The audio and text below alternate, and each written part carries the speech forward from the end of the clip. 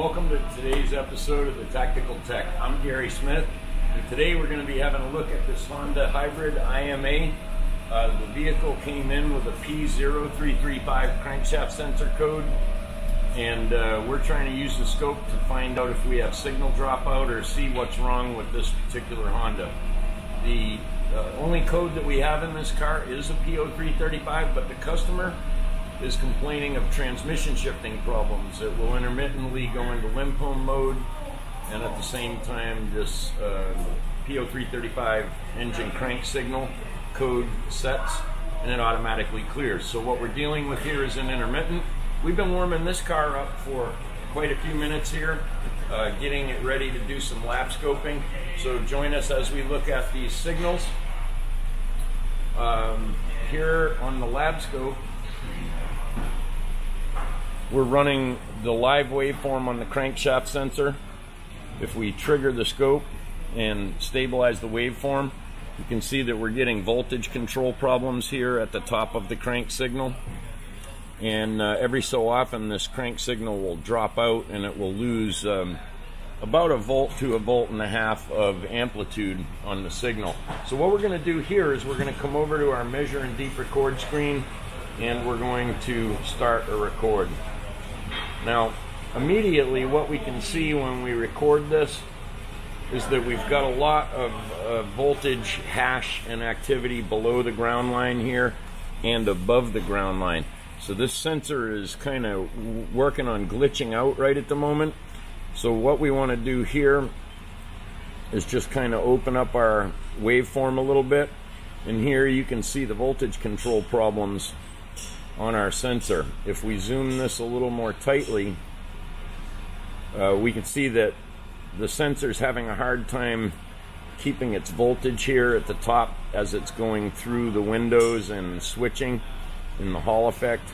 So we believe that this car has a bad crankshaft sensor. What we've been able to do with this cursor here is line it up on the lower ends of these dropouts so that each time it drops further, we're moving that cursor to catch it. And here it's looking a little bit more clean. But here you can see that we're dropping near a volt and we see several areas of this waveform where we're dropping that voltage uh, pretty consistently. So we've been monitoring this for about 45 minutes and this waveform keeps getting worse and worse as time goes on. So what we want to do uh, with this is we're going to let it run just a little bit longer. We're going to continue to record the level of drop of voltage. And then I believe what we're going to do with this one is put a crankshaft sensor in it and reevaluate the car to see if we can clean this signal up.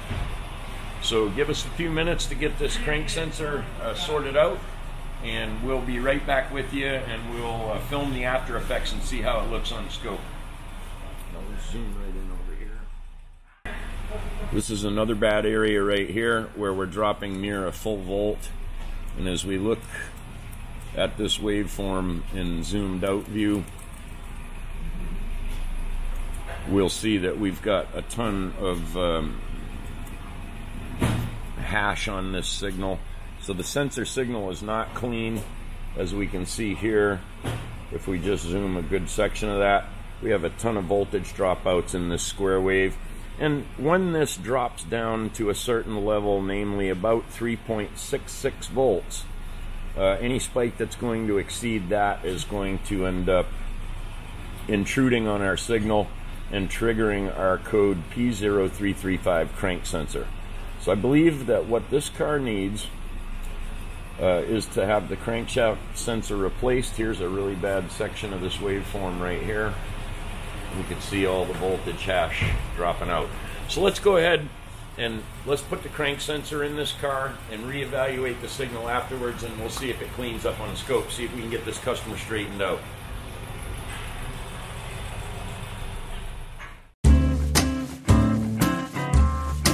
Uh, as you saw from the video when we started, we had pretty good signal dropout on this uh, waveform.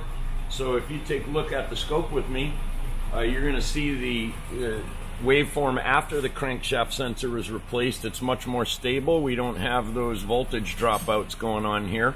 So what we're going to do here is just take a recording of it and right away we can see how much cleaner that signal is than it was before. We don't have the hash down here on the ground line and we don't have the hash exceeding 5 volts up on the top of the voltage. So we're back uh, kind of in control with this signal if you will. A nice uh, clean new crankshaft sensor in this car. If we uh, go ahead and just open up our waveform a bit we'll be able to see that we have a much healthier, cleaner signal. And um, this P0335 should essentially be solved. Now what we're going to do here, just to make sure that we're good with this signal, is we're going to pull up one cycle of the engine. This is the number one identifier, and this is where it repeats here, these double strikes on the waveform. But you'll notice, uh, compared to the first video when the car had the bad crank sensor in it, how much smoother and more controlled the voltage is even at the bottom here. So what we're going to do is take our panhand control, which is, allows us to move this waveform, maybe zoom it out a bit so we have some room on either side of that signal. And you can notice here that if we take a cursor now and put it across the voltage line, uh, it's kind of hidden behind this blue line up here now uh, as we pan this waveform, we're getting absolutely zero dropouts and a very nice clean signal on the bottom if we cursor that up as well.